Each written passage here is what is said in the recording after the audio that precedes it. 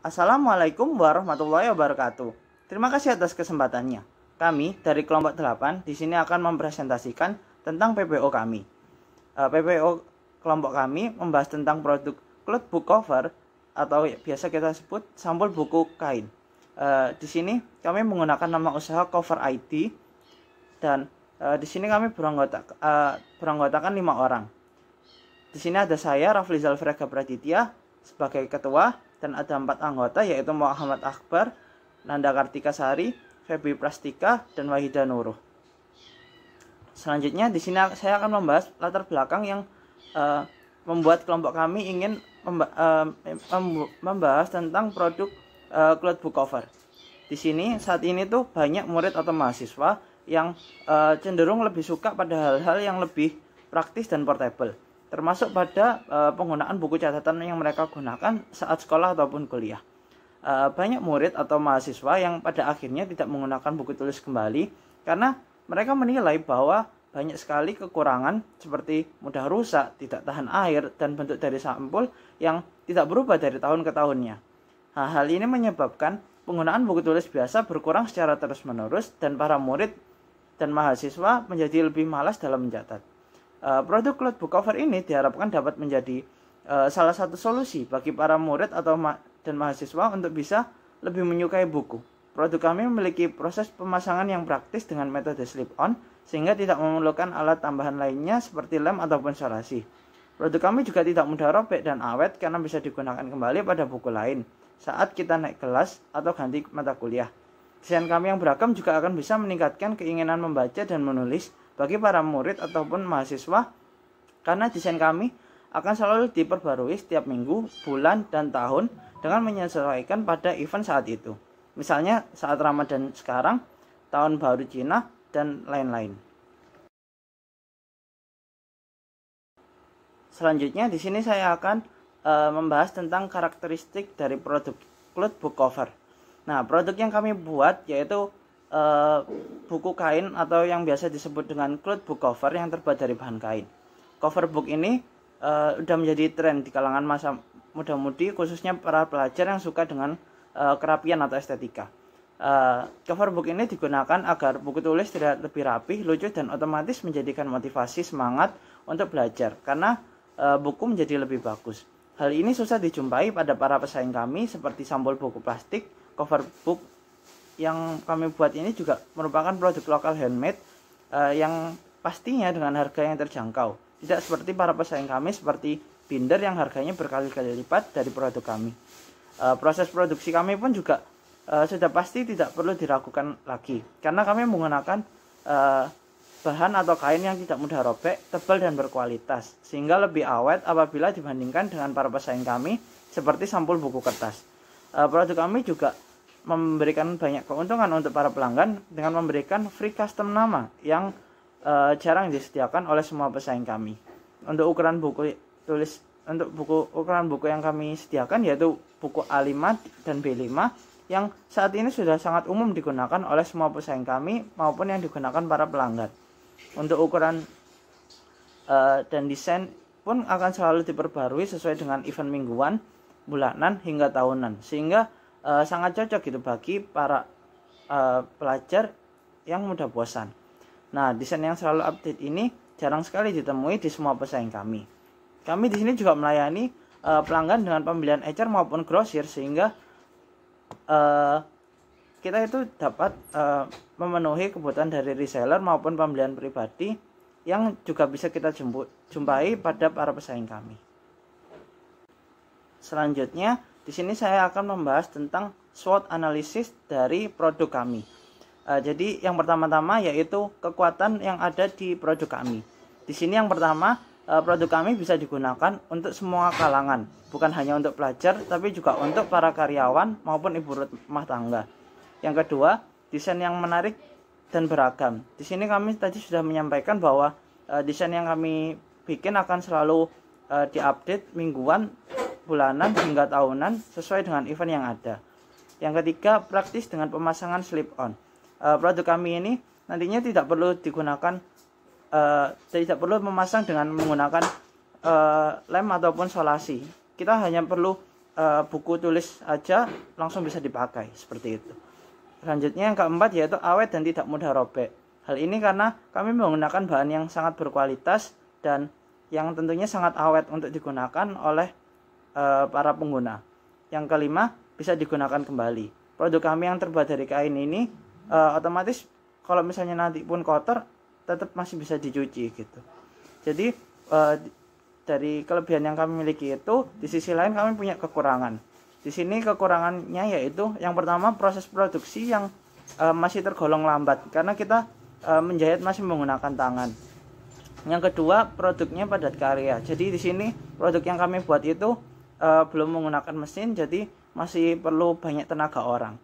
Yang ketiga mudah kotor. Nah tapi di sini tadi yang telah kami sampaikan bahwa walaupun uh, produk kami uh, terbuat dari kain yang mungkin bisa kotor bukan mudah kotor ya tapi bisa kotor nah itu uh, bisa dicuci gitu. Jadi lebih awet juga. Uh, habis itu opportunity atau peluang dari produk kami. Jadi produk kami ini uh, punya peluang karena produk kami sesuai dengan kebutuhan yang uh, dibutuhkan oleh uh, para pelajar dan mahasiswa Uh, yang kedua, konsumen juga tertarik untuk melakukan koleksi dari berbagai desain yang ada. Yang ketiga, harga kami juga dapat bersaing dengan para pesaing-pesaing kami. Uh, ancaman yang ada pada produk kami yaitu yang pertama banyaknya produk bersaing. Yang kedua, berkurangnya penggunaan pro, buku tulis yang ada di masa pandemi ini karena kita tahu bahwa di masa pandemi ini itu uh, banyak orang yang beralih dari penggunaan buku yang konvensional atau buku kertas biasa menjadi buku uh, digital gitu, e-book seperti itu. Baik, selanjutnya di sini saya akan membahas tentang uh, proses produksinya. Jadi yang pertama-tama di sini proses produksi uh, yaitu menyiapkan bahan baku. Uh, bisa kita lihat di sini ada duplex, ada kain itu sendiri, habis itu ada penggaris, gunting dan alat-alat tulis lainnya. Sel uh, selanjutnya di sini uh, kita bisa mulai menjahit dari uh, sisi-sisinya terlebih dahulu uh, di sini uh, metode jahit yang kami gunakan itu yaitu metode yang uh, zigzag uh, supaya lebih kuat gitu uh, selanjutnya uh, di sini uh, habis itu kita bisa masukkan uh, kita memasukkan uh, duplex tersebut uh, pada kain yang ada sebagai uh, rangka gitu dari sampul kami supaya rangka ini kuat gitu. Nah setelah itu produk kami sudah jadi. Nah di sini uh, perlu diketahui bahwa kalau memang nanti uh, pelanggan ingin mencuci dari sampul kami perlu mengeluarkan dari uh, duplexnya itu tersebut. Nah jadi duplexnya dikeluarin baru bisa dicuci. Habis itu nanti setelah dicuci sudah kering baru dimasukkan duplex kembali uh, walaupun nanti duplexnya bisa rusak uh, itu uh, tergolong murah jadi nanti para pelanggan bisa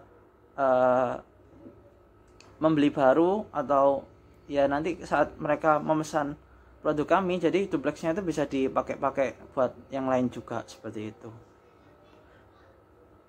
di sini saya akan membahas tentang bisnis model kanvas dari produk kami yang pertama-tama di sini ada key partner. Di sini key partner kami adalah reseller kami yang e, membantu mempromosikan dan menjual produk-produk kami dan di sini ada supplier yang e, menyediakan bahan-bahan e, untuk produksi kami.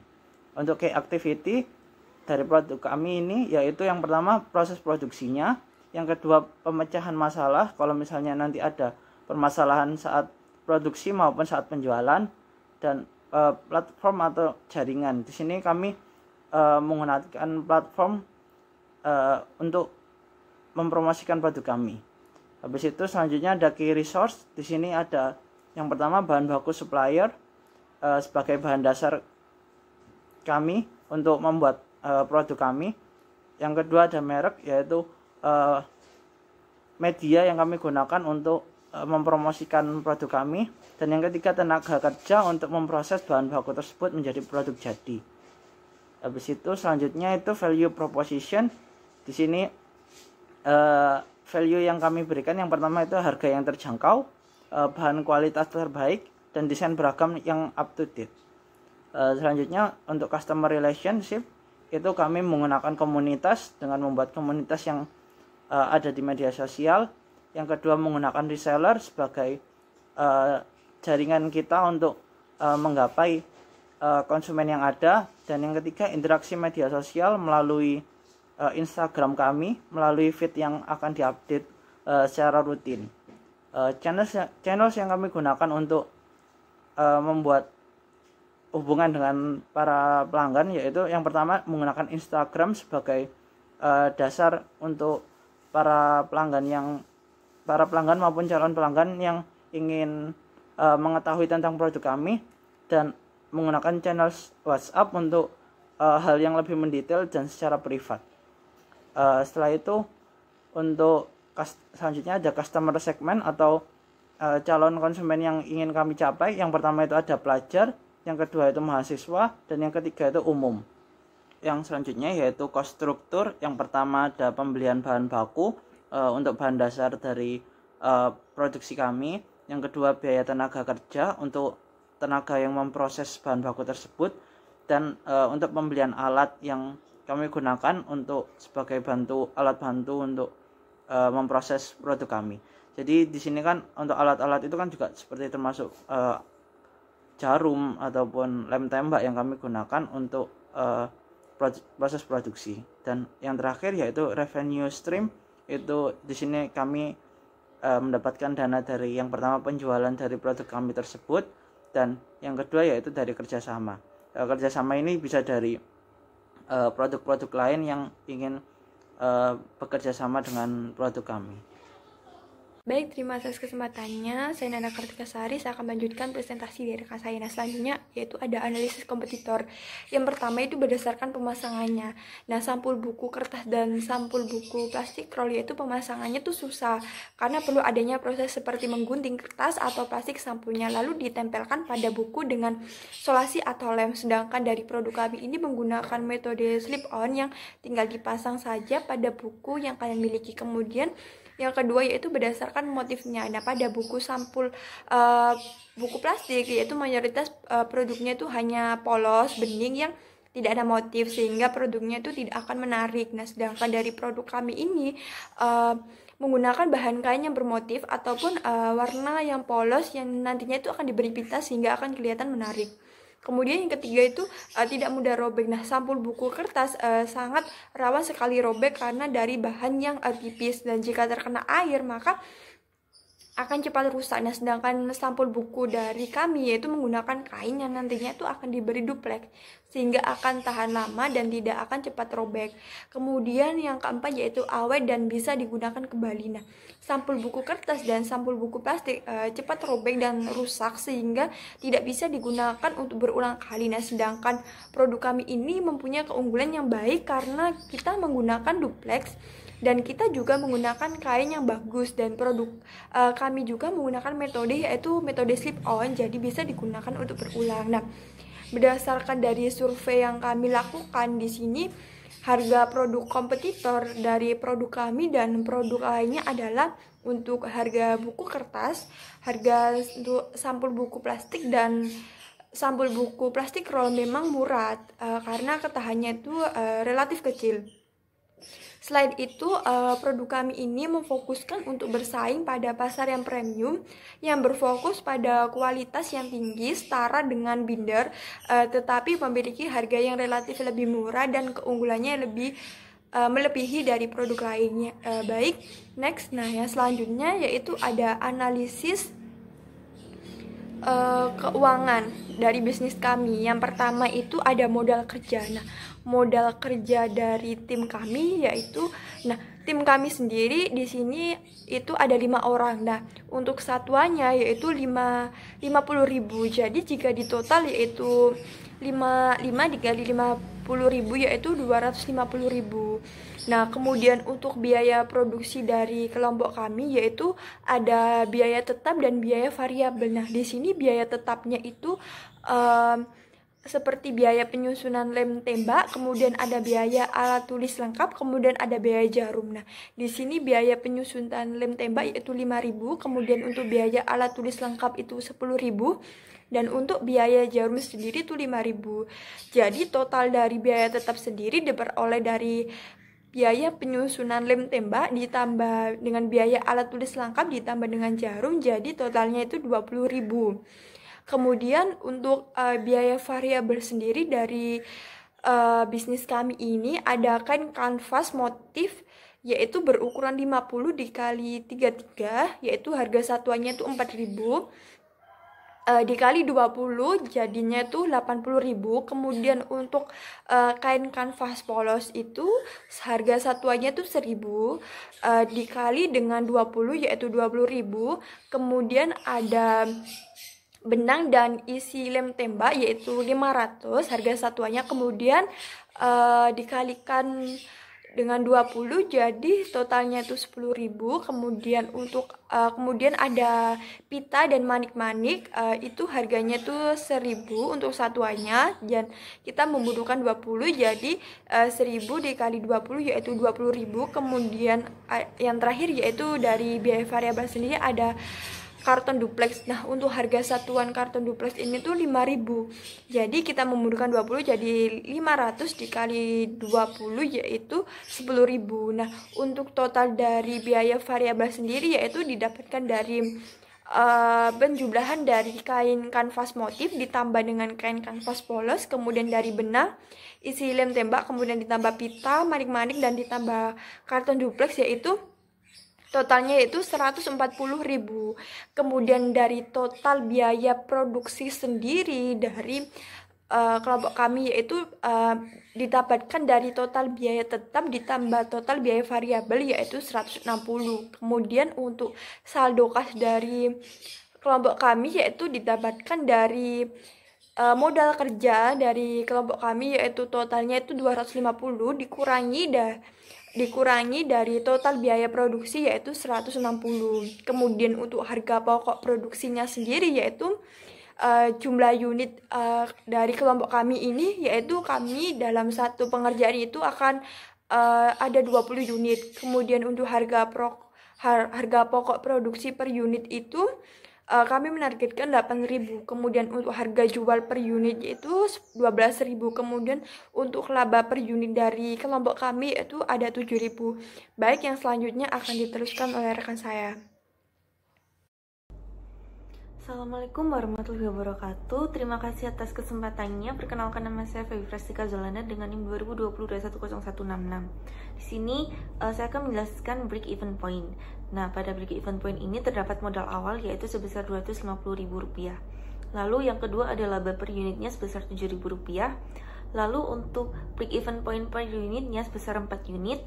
Lalu untuk break even point uh, rupiahnya sebesar Rp48.000 dan keuntungannya sendiri yaitu 140.000 per 20 unit. Rencana cash flow, rencana cash flow usaha kami selama 6 bulan ke depan yaitu saldo awal. Pada bulan uh, pertama saldo awal kami 250.000 yang berasal dari modal anggota kami yaitu 50.000 per anak sehingga mendapat angka 250.000.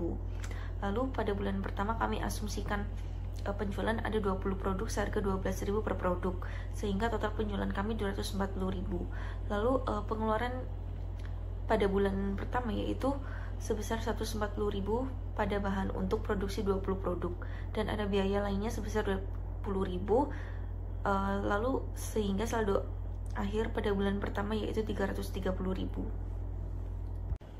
Lalu pada bulan kedua uh, saldo awal kami terdapat 330.000 dan untuk pemasukan penjualan kami asumsikan sebesar 22 produk sehingga uh, penjualan uh, sebesar 260 264.000 lalu untuk pengeluaran pada bahan di bulan kedua yaitu 154.000 dan biaya pengeluaran lainnya sebesar 20.000 sehingga saldo akhir uh, kami 420.000 Lalu pada bulan ketiga saldo awal kami uh, eh, 420.000 dan pemasukan penjualannya sebesar 288.000 uh, itu karena kami asumsikan pada bulan ketiga untuk menjual 26 produk. Lalu pada pengeluaran bahan di bulan ketiga yaitu sebesar 168.000 untuk pengeluaran lainnya sebesar 20.000 hingga saldo akhir kami 520.000. Pada bulan keempat, saldo awal kami terdapat 520.000, lalu pemasukan penjualannya sendiri yaitu um, sebesar 312.000 karena kami asumsikan untuk menjual 26 produk. Lalu uh, pada pengeluaran bahan di bahan pengeluaran bahan di bulan keempat yaitu sebesar 182.000 lalu untuk biaya lainnya sebesar 20.000 dan uh, saldo akhir menjadi 630.000 pada bulan kelima saldo awal kami terdapat 630.000 lalu uh, pemasukan penjualan sebesar 336.000 itu karena kami asumsikan pada bulan kelima untuk menjual 28 produk. Lalu untuk pengeluaran bahan pada bulan kelima yaitu sebesar 196.000 dan untuk pengeluaran lainnya sebesar sebesar 20.000 lalu uh, saldo akhirnya 750.000 Lalu untuk saldo awal pada bulan ke-6 yaitu sebesar 750 dan uh, pemasukan penjualannya sebesar 360.000 itu karena kami asumsikan untuk menjual 30 produk. Lalu pengeluaran bahan pada bulan ke-6 sendiri yaitu sebesar 230.000 lalu untuk pengeluaran lainnya sebesar 120.000 sehingga uh, saldo akhirnya sebesar 880.000 terima kasih selanjutnya akan dilanjutkan oleh rekan saya Assalamualaikum warahmatullahi wabarakatuh. Terima kasih atas kesempatannya. Saya Wahida Nur Sufia dengan NIM 2020-210170. Di sini saya akan melanjutkan presentasi dari rekan saya mengenai strategi distribusi produk cloud book cover yang kami gunakan. Strategi distribusi yang kami gunakan yaitu strategi distribusi eksklusif, yaitu dengan menyalurkan produk melalui mitra-mitra reseller terdaftar yang diberikan pelatihan dan pendidikan terlebih dahulu sebelumnya. Kemudian mengenai standar produk yang kami miliki, kami menggunakan produk yang berfokus pada kualitas dan kuantitas tinggi. Saat ini, produk hanya akan didistribusikan secara online melalui berbagai jasa pengiriman seperti JNE, JNT, Si Cepat, dan lain-lain. Jadi pembeli ini bisa memesan terlebih dahulu secara langsung melalui chat atau online shop kami di berbagai e-commerce, sehingga pesanan akan langsung dikirim sesuai keinginan pembeli. Saat ada produk yang terjual ini, saya sebagai admin online nanti akan mengabari di grup untuk selanjutnya akan diproses pengirimannya langsung oleh rekan saya Raflizar ke kurir yang diinginkan oleh pembeli. Kemudian strategi promosi yang e, kami gunakan yaitu kami berfokus pada Instagram saja. Kami secara aktif pada setiap hari Sabtu atau Minggu akan memberikan update desain terbaru. Nah, pada hari Rabu kami juga akan memberikan informasi terkait produk kami sebagai bentuk edukasi pada para pembeli maupun calon pembeli kami. Saat ini proses promosi dilakukan oleh rekan kami Nanda sebagai pembuat konten yang dibantu oleh rekan Feby sebagai pembuat desain. Baik, itu saja yang dapat saya sampaikan. Kurang lebihnya mohon maaf. Terima kasih. Wassalamualaikum warahmatullahi wabarakatuh.